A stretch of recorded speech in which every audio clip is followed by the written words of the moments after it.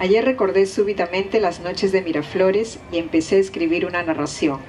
Entonces y solo entonces me di cuenta de que esas noches, dos o tres de la mañana, tenían una música particular, no eran silenciosas. En esa época, cuando vivíamos esas noches, decíamos incluso, qué tranquilidad, no se escucha nada, pero era falso. Mi hijo juega con sus soldados, sus automóviles y sus torres. Yo juego con las palabras. Ambos, con los medios de que disponemos, ocupamos nuestra duración y vivimos un mundo imaginario.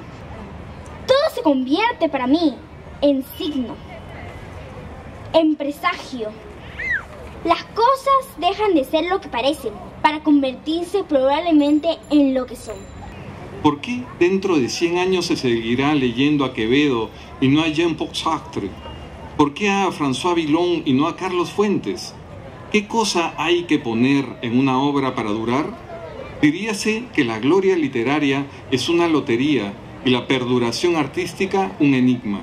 Yo celebro mucho esta actividad organizada por la Municipalidad de Miraflores porque se trata de pasar la voz, pasar la palabra de Julio Ramón Ribeiro, tanto en sus prosas apátridas como en sus cuentos. Es un autor que no pasará nunca de moda porque nos enseña, no solamente más allá de las historias que cuenta, nos enseña a mirar, no solamente la realidad, sino entender el mundo, a mirar la forma, las formas extrañas, complejas, eh, derrotistas que tiene la realidad e imponer una intención de organizarlas a nuestra manera. Tercero, que sus entradas y salidas no correspondían a ningún horario, ni una rutina de oficina, consultorio dental, clínica, tienda, zapatería, lo que fuese. Cuarto, su propio aspecto, tan atractivas, sensuales, animalmente guapas.